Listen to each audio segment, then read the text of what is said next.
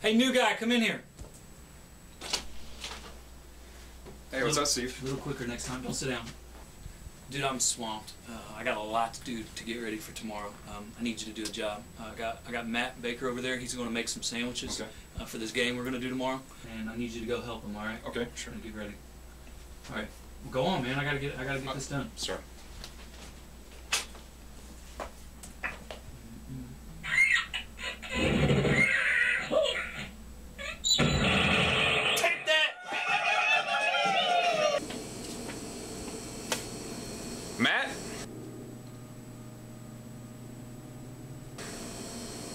Matt!